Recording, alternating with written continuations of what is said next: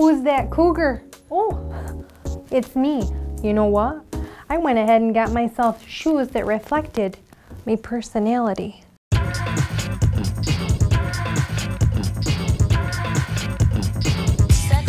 Okay, let's talk about these shoes. You know what I like to do when I find a pair of shoes that I like? I just like to go walking. So guess what I'm gonna do? These are meant, they're meant for uh, hiking, climbing. Whoop, there it is. Say for instance, I was a model and they wanted me to do something in the fall, fol the foliage tours. Oh dear. Let me show you how these shoes can be used for just everyday walking. Follow me. And what you want to do is you want to anchor yourself. I am solid right now.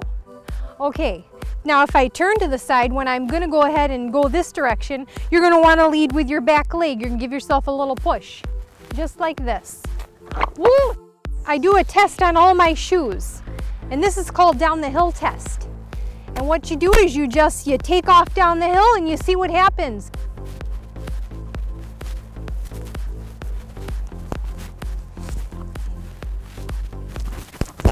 Well, don't you let that discourage you. You get yourself right back up.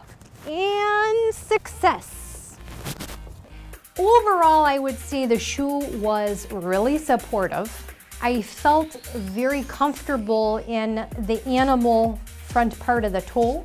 I felt elegant in the patent leather back. I'd go ahead and charge way more than $79.95, which is what it's listed at. I'd go ahead and charge $1,015. And you know what? I'd pay it